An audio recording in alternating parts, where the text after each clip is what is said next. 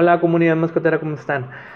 Tu mascota dejó de comer y aparte tiene un olor muy fétido en la boca. ¿Qué debes hacer? A lo mejor es lo que te has estado preguntando. Bueno, cuando tienes una mascota que ha dejado de comer y que tiene un olor muy muy fuerte en la boca, lo más seguro es que ya tenga una infección de lo que es la boca o los dientes. Lo más característico que podemos llegar a observar en una mascota es una estomatitis, que es una inflamación que se genera en lo que es las encías o alrededor de las encías y eso puede generar que tu mascota no quiera comer. Las causas, bueno, pueden ser desde un traumatismo, podríamos decir una herida que se generó la mascota, como en el video pasado que te enseñé de un perrito que traía un hueso atorado, eso generó una infección bucal.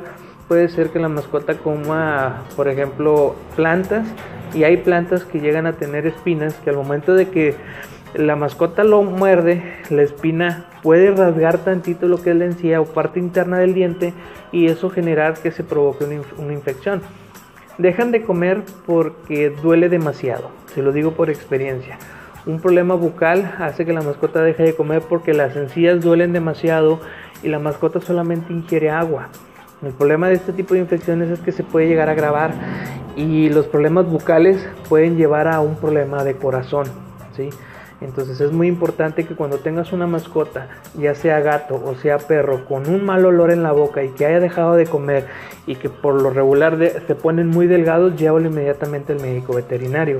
El tratamiento que se recomienda manejar son antibióticos para controlar infecciones, pero son antibióticos que deben de ser muy fuertes para poder controlar ese malestar y analgésicos antiinflamatorios. Los analgésicos y los antibióticos va a depender del médico veterinario, se pueden manejar varios pero sí es muy importante que atiendas inmediatamente a tu mascota porque lo más delicado que puede llegar a pasar es que tenga un problema en el corazón.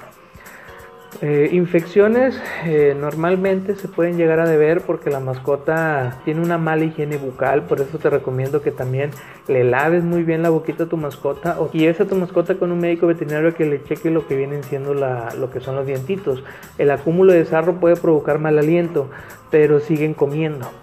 Entonces sí es importante que lo lleves porque también puede haber caries y en algunas ocasiones se recomiendan hacer cirugías que pueden llegar a ser muy dolorosas y muy costosas. Entonces si tú tienes una mascota con muy mal aliento y ha dejado de comer, llévalo al médico veterinario.